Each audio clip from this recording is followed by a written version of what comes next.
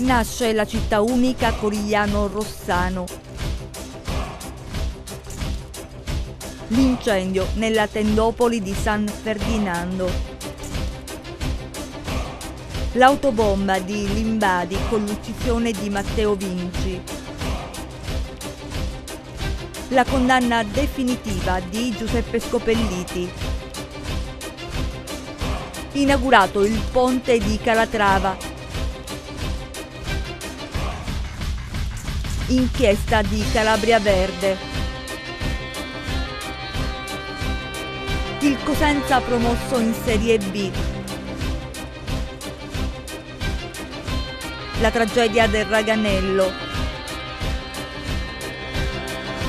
L'inchiesta sul Lucano.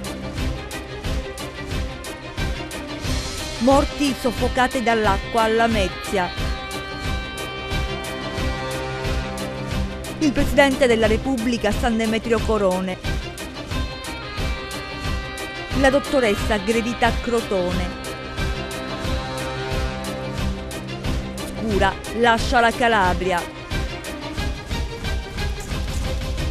Inchiesta Lande desolate.